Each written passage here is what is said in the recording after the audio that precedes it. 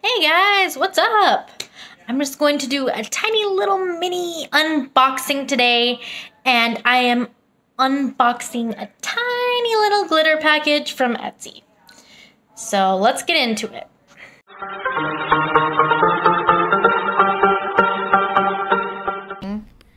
Guess who I see? I'm probably gonna get a package pretty soon.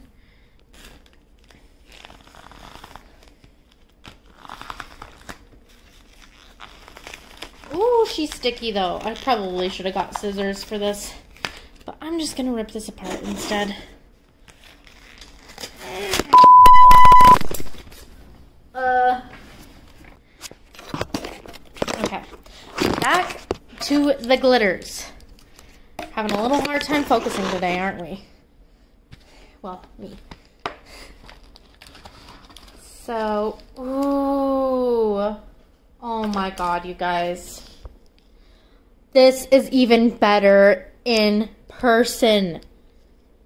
That is gorgeous. So, uh, I'm not seeing the little unicorns quite yet. Maybe. Oh, yeah, maybe there's one. Let's see if there's anything else in the package. Nope. Might as well check, though. So, let's see what it comes with. It comes with um a business card, which is really good. Like if you have an Etsy, you have to have business cards or else people won't know where they got their products from. They won't know how to order it again. So, if you want return customers, you need to include this kind of stuff. And ooh, ooh, ooh. That's something I don't like. That's something I really don't like. Mmm, mm-mm. So, don't be preachy. Not all of your customers are religious. And this has nothing to do with glitter. So, that is something I really don't like. So, I, I, I, even though the glitter is adorable, they get a whole star removed for that. The glitters are cute. The unicorns are super cute. I'd say I'd give it a 4 out of 5. Um, four out of five because was a little slow uh, getting here. And then they sent me Bible verses on their business cards, which is really unprofessional.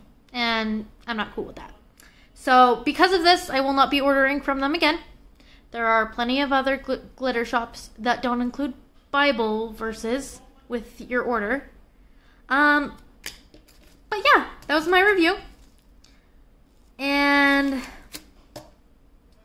I will not be tagging them on Instagram or showing you guys their websites.